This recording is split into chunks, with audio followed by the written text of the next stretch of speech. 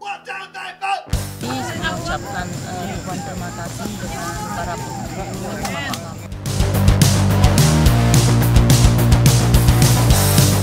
Bukit Kudomas. Begitulah masyarakat sana menyebutnya. Terletak di desa Kota Baru Santan, Kecamatan Pelabai, Kabupaten Lebong. Sebuah bukit dengan ketinggian lebih kurang 800 mdpl. Memiliki struktur tebing dengan kemiringan yang cukup lumayan. Begitu kita sampai ke puncaknya, kita akan disuguhkan dengan pemandangan kota Kabupaten Lebong dan Kabupaten Bengkulu Utara. orang tua orang tua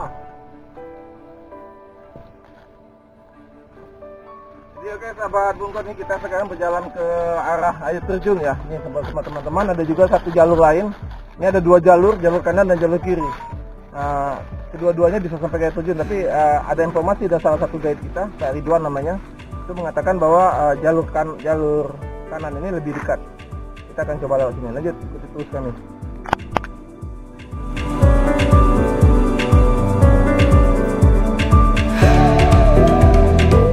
Sahabat Bungkoni di mana pun berada kita sekarang sudah berada di jam kurang lebih jam 7 pagi ya. Jam 7 pagi eh, keadaan awan juga eh, masih cukup tebal. Jadi eh, bagi penikmat penikmat katakanlah eh, mungkin di atas awan atau eh, samudera awan di situ cukup bagus ya. Eh, tapi eh, tadi tadi pagi sayang kabutnya cukup tebal jadi tidak begitu bagus tebal sekali menutupi ini ya begitu aja sahabat lanjut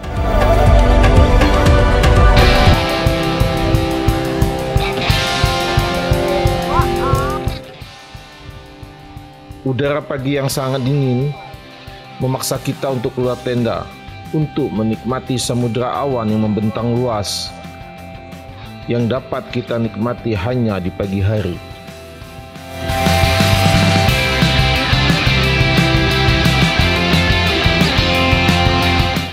Sebuah panorama yang sanggup memanggil penikmat alam dari kejauhan.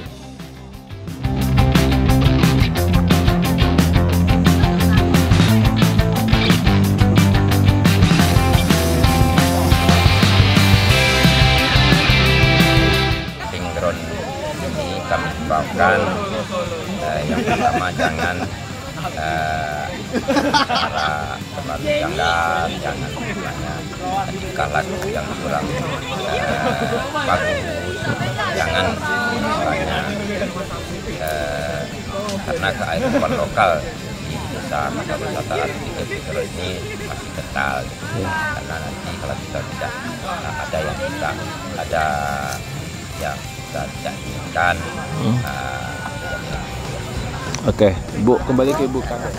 Ah, Mungkin eh, pas peresmian ini kalau nanti